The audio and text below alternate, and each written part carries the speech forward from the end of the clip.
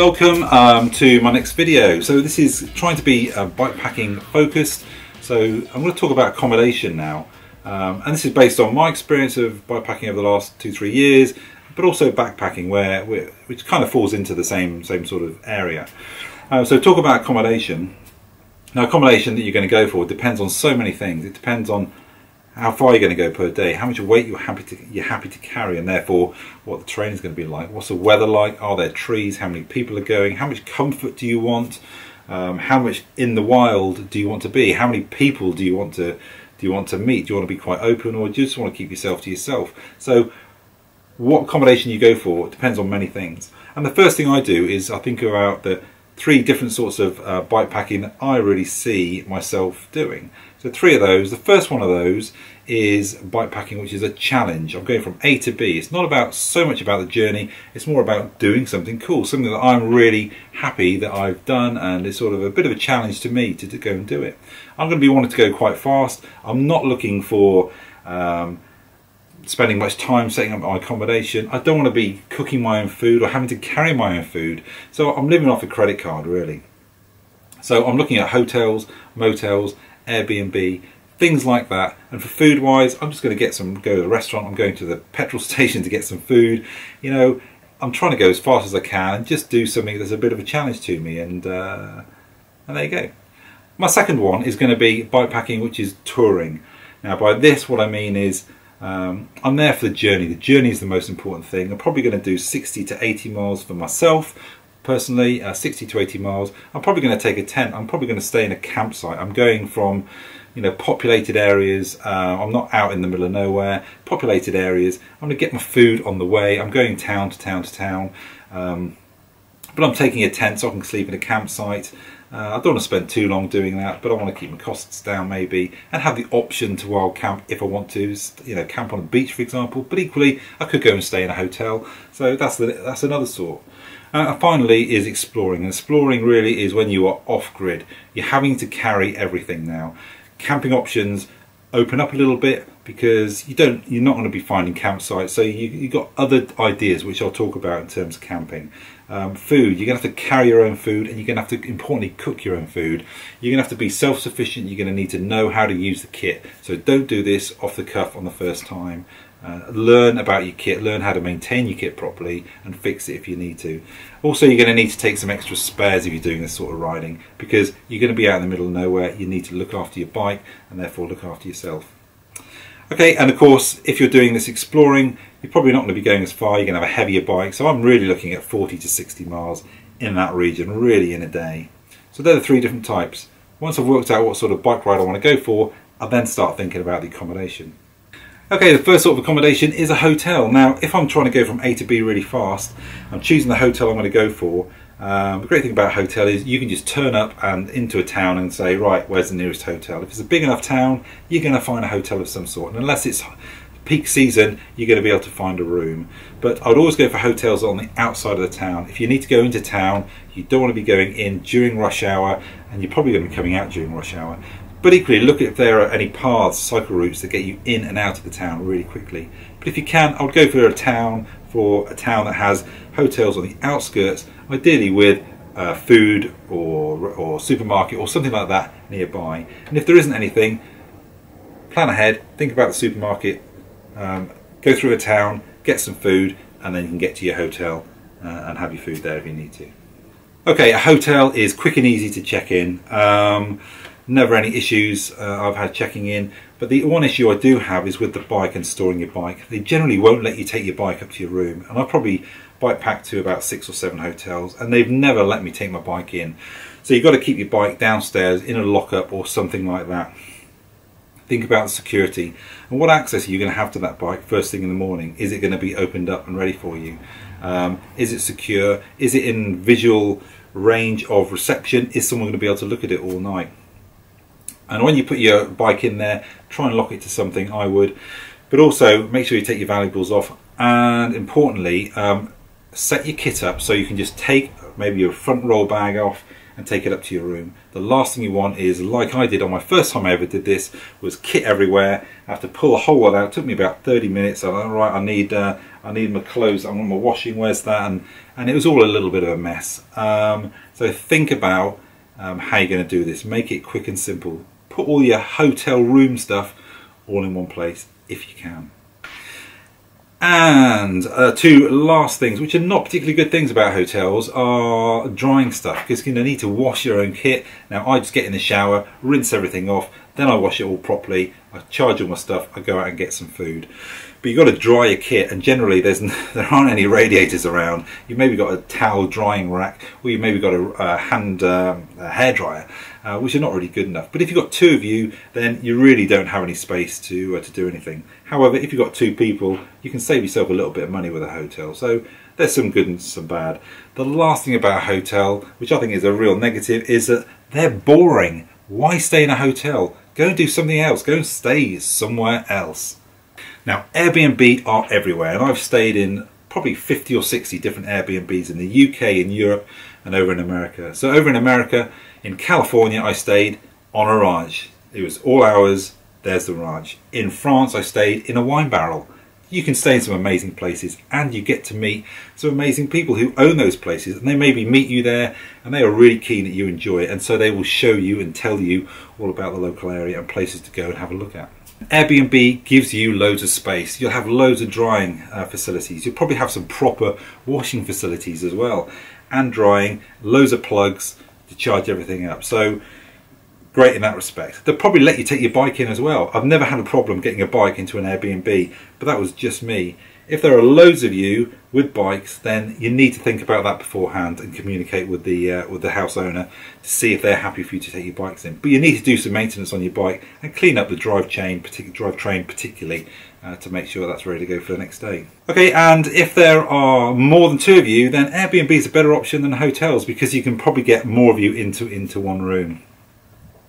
One downside or upside of Airbnb is that the distance really is set. So you can't just turn up. You really need to book it and communicate with the owner to try and set up your arrival, etc. I would say the latest you really want to be booking an Airbnb if you're bikepacking is maybe lunchtime. Plan ahead and see how far you think you're going to get. I generally do it the night before I book it. Now the downside of this is that you need to work out realistically how far you're going to get. If it's too far away, um, and you're just not going to make it, you know, what you're going to do. Um, however, it does drag you that, those extra 20 or 30 miles to get to that accommodation, but you need to think about the weather, the terrain, and all those other things um, when you're choosing how far away you're going to go for your Airbnb. Now, equally, if it's not very far away and you've had the wind behind you and you get to three o'clock in the afternoon and you're here and you're thinking, you know what, I could get another three or four hours. I'm flying along with the wind behind me. Tomorrow I'm going to have headwind. I'd rather just carry on cycling. So there is a downside to an Airbnb. And if you're going to do an Airbnb or a hotel, think about the what if. What if you can't get in somewhere? So personally, I would always take an emergency bivy. I'll come on to those in a second. A bivy, a lightweight sleeping bag, um, or an appropriate sleeping bag, and then a mat of some sort, which you just roll up and have somewhere. Again, it's more weight. You don't want to carry more weight. That's the whole point of a hotel or Airbnb is that you're not carrying extra sleeping gear. But you need to think about the what ifs. Is the weather bad? Think about the location, what the weather might be like, and what you might be stuck out in. Another option are youth hostels and bunkhouses. Now, in the UK, a youth hostel is a very cheap way to, to move around. A lot of backpackers use youth hostels. Bikepackers start using them as well now. And they are communal areas. You're sleeping in a room with other people. Um, you know what? And they're a great way to meet other people. And I've done it a couple of times and I've really enjoyed staying in, in youth hostels. That was backpacking. Um, the good thing is that they are set up to look after backpackers and bikepackers, so they are set up to wash and dry your kit.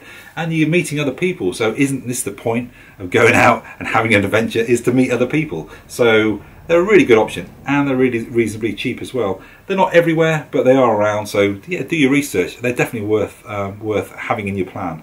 Now there are other sorts of shelters that you can have out there as well. Uh, in the UK we have things called bothies, which is basically just a really simple shelter. And I've had a really pleasant night uh, in a bothy. Uh, in fact, the sleeping wasn't particularly pleasant on the bench, but um, but you know, the people that were there, it was a lovely atmosphere to walk into. And equally, I've gone into a bothy in really bad weather um, on the moor on my own in the pitch black and it looks a little bit scary but um, but isn't this part of the adventure so yeah there are other sorts of shelters out there um, and I have stayed in the entrance to a church before once it was in a rural area I felt pretty safe but if it was in an urban area I probably wouldn't do that sort of thing but you could stay in a bird watching hut which I've uh, almost came uh, got my ended up doing uh, once bus shelters under a bridge, but it's all risk. So you really need to be careful if you're going to do this sort of thing. Right, let's think about uh, camping now. So first off, I would think about our tents. Now tents are relatively compact, relatively lightweight. Everyone knows how to set them up. They're quick and simple to set up, hopefully, so make sure whatever tent you buy is quick and simple to set up and make sure it fits in your bike. And by that, what do I mean? Okay, well this is my tent. Uh, so this is a an MSR Carbon Reflex 1. It is very lightweight. Well, it's ultra lightweight. It squashes down. I can get the air out of this down to the size of sort of a melon. Um, 750 grams, and that includes the pegs and the poles. And with the poles, importantly, make sure you know where you're going to put these. So these I know fit in my frame bag. Um, if they didn't fit in my frame bag, if they were any longer, they were just really awkward to put in a saddle bag, or do I fit them on the uh, on the bar bag and strap them on on top of there, which is probably my second option.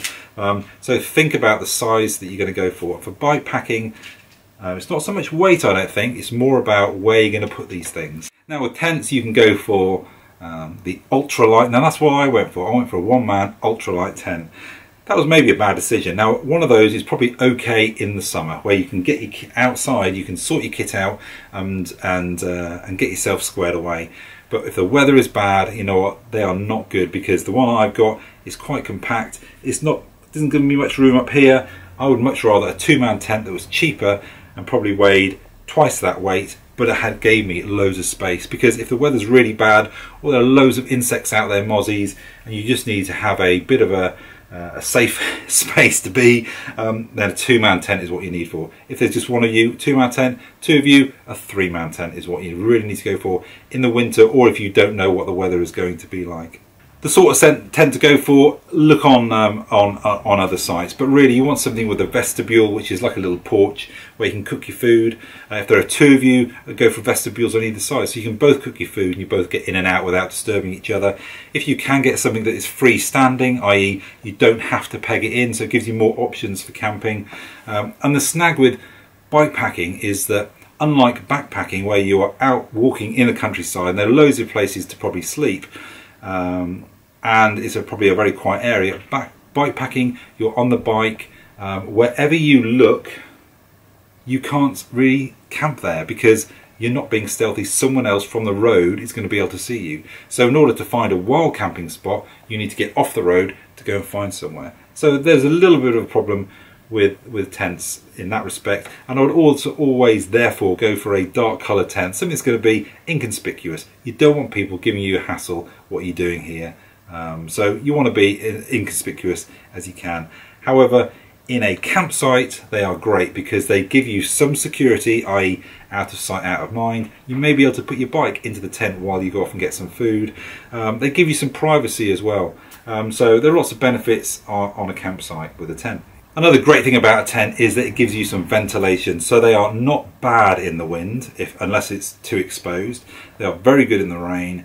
Um, and they're very good for condensation. So they've got good ventilation generally uh, which allows you to keep, keep, condensation down because you don't want your kit and everything else getting wet. So a pretty good option for the bad weather Okay, and tents are good also for bug protection. Um, and weight wise, for a tent, really ultralight one man tent, you're probably looking like mine at about 750 grams, up to about 1.5 uh, kilograms.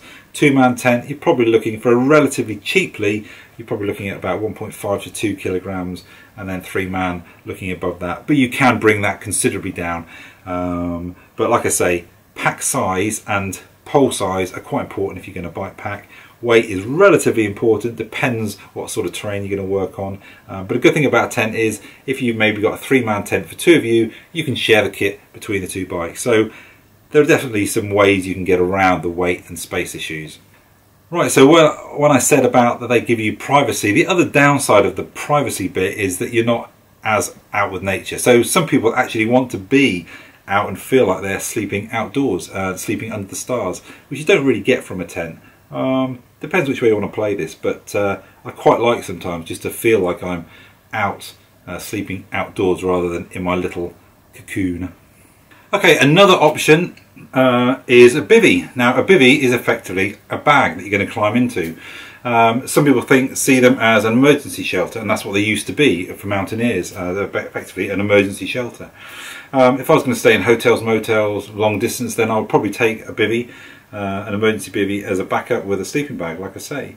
Um, but they're a very optional um, way to sleep um, outdoors. You are out with the wild. Um, when you're in a bivy, they are great wind protection, fantastic from the wind. Um, they are very good in terms of the rain, um, but they're not good when it comes to condensation. So if it is warm and it's summer, uh, when you breathe, you breathe out about three quarters of a litre of moisture at night and that moisture's got to go somewhere. Um, and so what you can find is you get a lot of condensation in these things. So you need to think about ventilation with them. So ideally you're not going to cover your face up you're going to have to breathe out of there. So you um, so you want some sort of ventilation. But equally you don't want bugs to get in so you may need some bug meshing so there are lots of different sorts out there. But they definitely have got their downsides.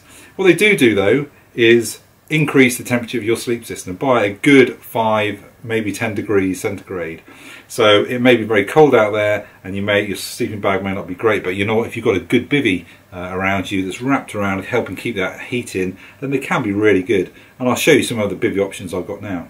Okay, so this bivy is called a Sol Escape bivy. It's definitely an emergency bivy. It squashes down to about that sort of size. Um, it's a great option. It is open. There is a pull cord here, uh, and there is a zip on the side, which is about half length zip. This comes up and it goes around and you can pull it down around your face. It is a lightweight and it is it will add warmth to your sleeping system. So not a lot of extra weight if you're going to go in a hotel, but you know what? I wouldn't use this as my main accommodation if I'm going out bikepacking. I do have another option for one. Um, and this one is a little bit more uh, stealthy which is probably what you want really. Um, this one is better waterproof better windproof but there's certainly no breathability in this thing. Again it's a pull cord which just pulls around your face and in there you've got your sleeping bag you've got a blow up mat um, and that's about it. Now what you can do with bivy bags is um, set them all up beforehand so you can have the bivy bag in there goes your sleeping bag. Under that goes your inflatable mat, which is deflated. You roll the hole up, it goes into your bar bag. So they can be out, set up really easily. Um, but the thing with a bivy bag, what turns a lot of people off, is that they can be quite claustrophobic. Having that material right over your face. Personally, I've kind of got used to it. Um, and I tend to keep my face out so I'm not breathing uh, into the bag and causing condensation problem, which is a big problem if you've got a down sleeping bag because that is going to absorb all that moisture and cause you problems. And you can get down, which is protected, which is um, sort of uh, treated so that there's a little bit of protection against that. Um, but in a bivy bag, it can get it can get quite wet, particularly if it's moist and warm. So they are a winter option, I would suggest. Now to get around the claustrophobic uh, idea, you can get ones with a hoop, and their hoop is just around the head area. And so I've got two of these. Um, one of them is a Terra Nova Jupiter, which I don't think they do anymore. A fantastic bag. Um, it weighs 650 grams only, so it's certainly heavier than the other ones with the hoop. Um, but it's got a um, bug meshing in there. It's it's a top loader so you crawl in from the top and get yourself in. But you know I'm quite happy in there reading a book watching a film. Uh, it's a very pleasant experience. Um, and the other one I've got which I'll show you now very briefly I won't get it out uh, but but certainly look up bivvies and hooped bivvies. There are loads of different types. This is one and a half kilograms. This is a Dutch military bivvy. This is for winter. This is friggin' awesome uh, really warm but I would not be taking this bikepacking. It's just too heavy, really. You know, I could take a tent for the same weight and bulk as this. I can take myself a tent. So not really something for bikepacking when you get to this sort of weight. So bivvies, look for things maybe with a hoop uh, is probably the best option. It gives you the most flexibility. Uh, you're looking at about 750 grams for one of those. Good thing about a bivvy is that they are stealthy. So unlike a tent where, where it's harder to find somewhere that's suitable where you need the space in the ground and the no rocks etc With a bivy, you can fit in much more, much better spaces. They're low profile, they're stealthy, you can keep out of the way, you can just pop over a hedge and disappear and people on the road won't even know that you're there. So they are a really good option um, if you don't want to hang around and be looking for places to stay. Um, but if you're going to stay on a campsite, they don't give you the privacy that you would get from a tent. You can still go and get changed on a campsite in the in the local facilities, uh, but you don't have space to get your kit out and organise it. So if it's pouring down with rain, you get to your location, you know what, your sleeping bag's going to get wet, you're going to have to open up the bivvy, everything's going to start getting wet, um, you don't have space to, to sort things out. So in that case, I would say they're a summer option. But the trouble with summer is that you get more condensation issues. Um, so there's a bit of a going, a bit of an issue with a bivy bag. It's not that simple. Okay, so what you can do to get around this rain problem uh, and yeah, around the rain problem is to take a tarp. Now a tarp is basically a big sheet. You can get them really quite small. Um, so you get a tarp. Um, they take a little bit of skill to set up. You have a ridge line, you have guidelines. They're kind of like a tent, but they're a lot lighter weight. But they can be set up in lots of different ways. So there is a bit of a skill set to doing this and you can have them so they've got a backing to protect you from the wind behind you. And then into porch mode you can have them as an A-frame which is the more traditional. You can set them up in some sort of crazy ways. You've got a 3 by 3 meter tarp. You can set them up so they're almost like a tent which I've done once. It didn't look particularly pretty but uh, but you can set them up that way where you get loads of wind and rain protection. So that plus a bivy can be a really great way. So you can sleep out under the stars but you know what? If the weather's going to be bad you can just set the tarp up to give you that rain protection and that'll give you a big area where you can sort your stuff out while it's raining and you don't have to worry about getting the damp inside your bivy. So tarps, lots of different sizes. So this is a tarp that I've got there. That's quite a big one, uh, an even bigger one, and then I've got an even bigger one in there, and then I've got an even smaller one as well. Um, so yeah, so how do you set them up? You generally set them up in trees. So you take your bivy and you set that up near a tree and then you'd use the tree to help put your tarp out to give you all that protection. And they're great because they get you out in the wild. Um, if you don't have any trees though, you can use poles, you can use your bike, you can turn your bike upside down on the wheel, that can be help with one of the ridge lines and then the other end you can maybe put a stick to hold it up and then use your guidelines to peg the thing out.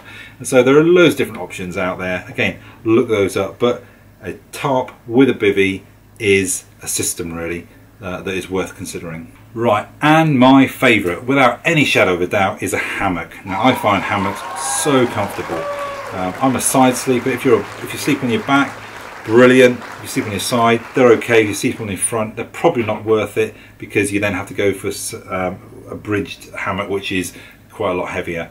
Uh, so for bike back bike packing and backpacking, they're a really good, comfortable option. Um, now I'm a side sleeper, however when I've had a couple of beers I, and I'm sleeping on my back, um, I can snore sometimes and that has attracted some attention from a stag uh, a couple of weeks ago uh, and in fact a uh, wild boar which ended up being right underneath me uh, which I scared off with my torch. Um, so yeah there's my little story from, uh, from a couple of weeks ago. But anyway, uh, hammocks, let's talk about them. Right, hammocks are an art. You've got to learn about them because you have the hammock, you've got the underquilt, the top cover maybe, you've got your bug net, you've got your straps, uh, your suspension system, um, you maybe got a, a, gear sling, you got there are loads of different um, things that you need to learn. They're actually very simple, but there are lots of different ways of doing it. So you need to learn the way, one way of doing it, uh, and that's it. But once you've set up, they're pretty simple. But you need a tarp to go with these as well, and you need some warmth and that's what where a hammock falls down really is the warmth side of things. Okay, so these are good in the summer. So if the temperature is 20 degrees centigrade or above, hammocks are great. You don't need to take too much gear, but still they're going to weigh around about 1.5 kilograms. You may be able to get lighter than that, down to maybe one kilogram, but that's the sort of weights you're looking at. If you're going to go below plus 20 degrees centigrade, down to about plus 5 degrees centigrade, then you're going to need to take more kit and you're probably now looking at about two kilograms in weight of kit maybe 1.5 if you're lucky but you probably are looking at about two kilograms in weight um, if you want to go below plus 5 degrees centigrade you really do need to start take, upping uh, the amount of gear that you're going to take to keep you warm. And the issue with a hammock is the warmth is taken away. Any sort of wind under there takes warmth away from your back, and you will lose a lot of heat. Uh, the sleeping bag just isn't going to uh, help you out with.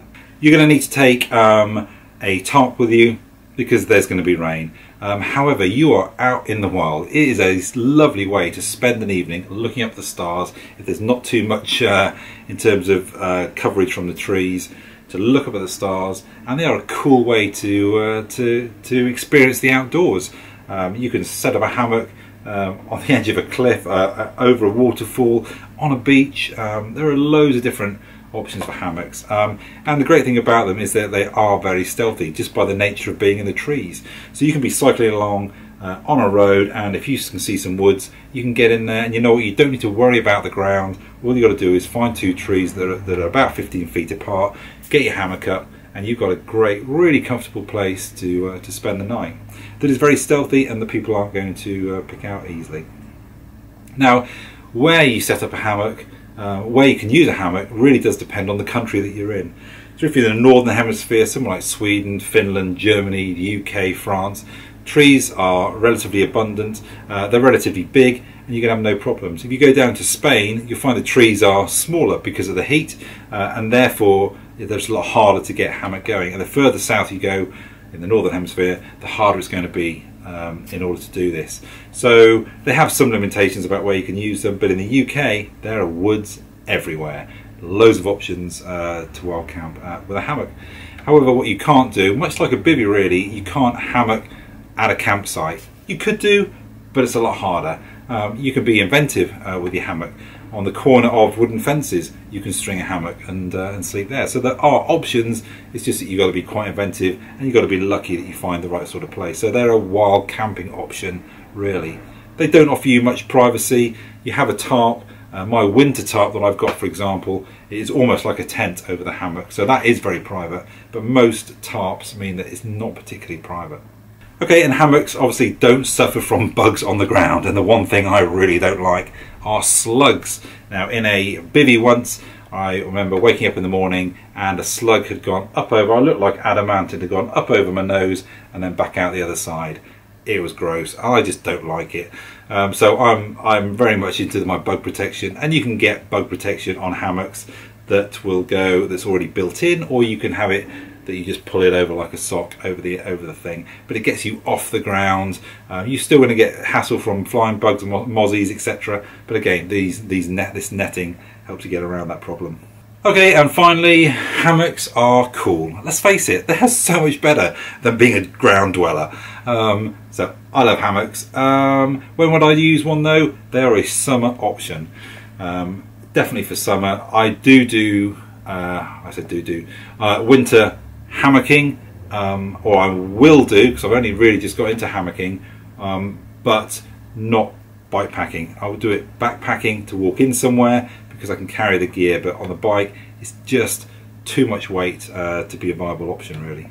Okay, and the final option is camping and accommodation is cowboy. Just take your sleeping bag and sleep out under the stars. Now the snag with that is that you're probably going to want to do that in the summer when there all the bugs and everything else are around. But if you're a hard man, if you're a cowboy, then you don't really care about that sort of thing. So have a go. It's not for me, um, but yeah, it's definitely an option, but maybe not in the winter. So overall, then accommodation depends on so many things. Depends on the terrain, how fast you want to go, what the weather's going to be like. Do you like your comforts? Do you like your privacy? Do you want to be out in the wild? Do you want to meet people? How many of you are there going? Um, loads of different things to think about. Um, what would I use? If I was doing the challenge, then I would stay in Airbnb um, by a mile. That would always be my preference, but I would always take some sort of emergency backup with an emergency bivvy and a small sleeping bag, etc., just as a backup option. Um, if I was going touring, then you know what? I have to say I would take a tent. Although it kills me to say I would take a tent, it gives you over a long period of time. It gives you the flexibility to stay at a campsite, it gives you protection from the weather, uh, it's well ventilated, they're easy to set up, they're easy to get repaired. Um, they are the better option, I hate to say it. if I was going exploring, then I would try something different. I would take a hammock, I would take a bivy. They will always be my two number ones, a bivy with a tarp. They'll always be my two number ones I would go for. The hammock I would do in the summer and the bivy with a tarp I would do in the winter. And they are always going to be my go-to options but I would only really do them for two or three nights maximum where I knew what the weather was going to be like and I knew the sort of conditions that I was going to be in. If I was doing it over multi-days, exploring off-grid, then I'd still have to take a tent and I'd almost certainly take a two-man tent there to give me that flexibility, protection, and you know if the weather's really bad, I can hunker down and just deal with it uh, in my tent. So there you go. They're all different options for for accommodation. If you're bike packing with a little bit of a slant for bike packing, um, again, it's just based on my limited experience um, of bike packing and backpacking um, and what I've learned from YouTube. So by all means, go out. I don't want to repeat what other people say. Um, go out and look at all these different options. Um, if you like the video and you found it useful, then please hit like. Uh, if you not subscribed, then please subscribe. Um, I'm going to do lots more content uh, on bikepacking as much as I can find the time uh, to do, um, and consider sharing it with someone else who may be thinking about doing this sort of thing. Um, and finally, uh, thank you to those that have subscribed. I'm just over 100 subscribers now. Not that I'm chasing numbers, um, but it's nice to know that other people are watching and that what I'm doing is of some use to someone. But uh, there you go, and thank you for watching.